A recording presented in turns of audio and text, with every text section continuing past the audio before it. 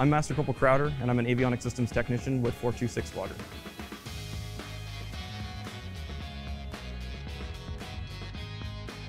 So this is the uh, antenna itself, and this is pretty much the brain of the radar system. It basically scans in 135 degrees back and forth, and it can scan 45 degrees up and down. And basically this is constantly sweeping back and forth, depending on what mode they have it on. It's either looking for weather, it's looking for communication beacons, can map the ground so that way they have screens inside the plane kind of annotated by different colors on the screen depending on how close you are to the ground. Safety zones are one of the first things that, that are taught when you come onto a, an airplane. Uh, usually you're supposed to put signage out so that way people don't inadvertently walk in front of the, the radar itself. You can radiate yourself with a radar and do some serious internal damage without even realizing that you've done anything. Quite a comprehensive antenna. It does a, a lot of things all at once. It's a highly integral part of the plane and the pilots prefer to definitely have it operational.